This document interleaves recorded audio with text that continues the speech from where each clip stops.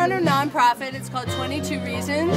And I go to schools and I tell stories about animals um, in order to get kids to think critically about how they're treated. Um, in this case, I'm telling the story about Lolita, who's an orca who was captured in the wild 43 years ago. She was moved to the Miami Seaquarium and she's been in a tank that is illegal by animal welfare standards.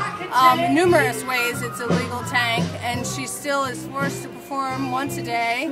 Um, and so there's a whole mess of people trying, ever since the day she was taken from her family, they've been trying to get her back um, into the ocean. Her family is an endangered species. Their pod, their individual pod is considered endangered.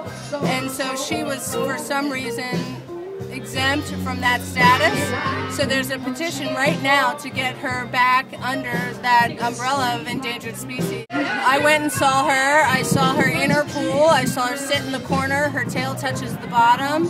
Everything I know about wild orcas leads me to believe there's no way she's happy. Um, besides the fact she's alone, uh, being in a concrete tank is sensory deprivation for an orca who uses echolocation to communicate.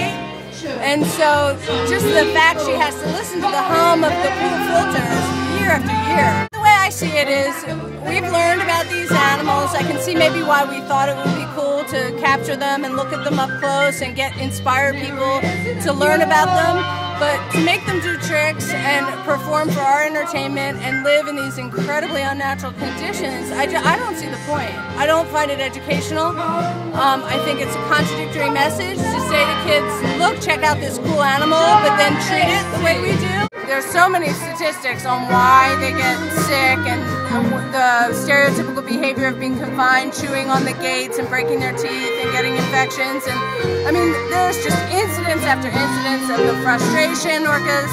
What's the reception like to your Oh, people love it. You know, people care, and if they stop and think about it, they really have compassion for the animal, and it outweighs their need for entertainment for a Saturday afternoon.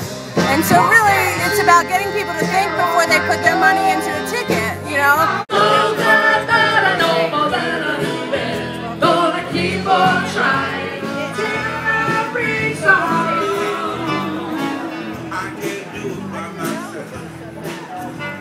till I reach the